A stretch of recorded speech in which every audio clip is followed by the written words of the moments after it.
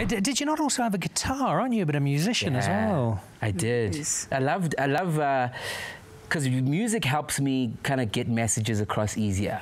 It's always it's always better what I found, and that's how I got away with a lot of things. Like if I go, Mutsirisi. Hmm," See, even that response. but if I say, say Mutsirisi. Ah, so yeah. Yeah? you, you know what I mean? I at least buy myself a little bit more attention if I say something with a little bit of melody. So music has always helped me kind of navigate through very tough subjects in comedy so that by the end of it we all come out going he did he was silly he was stupid but there was something in exactly what you were saying about about my charity bit where it's like i don't just want to tell people how to live i also want to show them that i'm also human. And just because i say something doesn't mean i'm necessarily am that thing because i do not want to be put on any pedestal. And sometimes i knock myself off because no one belongs on one. Yeah.